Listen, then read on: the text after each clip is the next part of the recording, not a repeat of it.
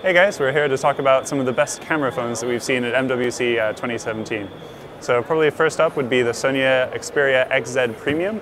Um, this camera is, you know, it's going to be pretty good. It has a lot of megapixels, but the kind of the standout feature for me is the slow-mo uh, video capture. So it can capture up to 960 frames per second, which is, you know, pretty outstanding. On the iPhone, we've seen, you know, maybe half of that, maybe a quarter of that, somewhere around there. So to get to 960 is really quite a special thing.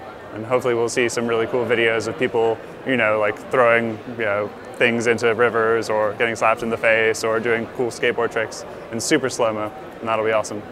Uh, next up is probably uh, LG's G6. We have, again, uh, two cameras. They're completely flush with the body of the phone, which is great. And also they have different uh, fields of view. So you can have either a wide shot or you can have like a more traditional narrow shot. And I think that gives you a lot of flexibility when it comes to setting up a photo. And they also have something similar with their front-facing camera, where they can, you know, they can have a close shot or a wide shot depending on the situation, and even switch automatically between the two, which is pretty intelligent in my opinion.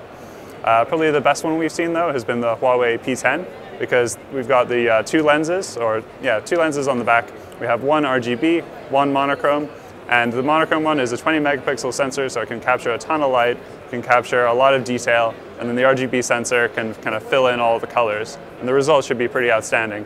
Uh, we've seen already some really good black and white photos from the phone and some really good color ones as well. So that's probably our pick for the best uh, camera phone of MWC 2017. So thanks for watching the video and uh, stay tuned for the next one.